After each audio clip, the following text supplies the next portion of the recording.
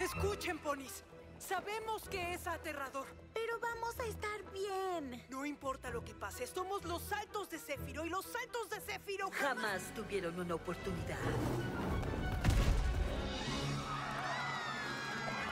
Están listas para rendirse. Oh, oh.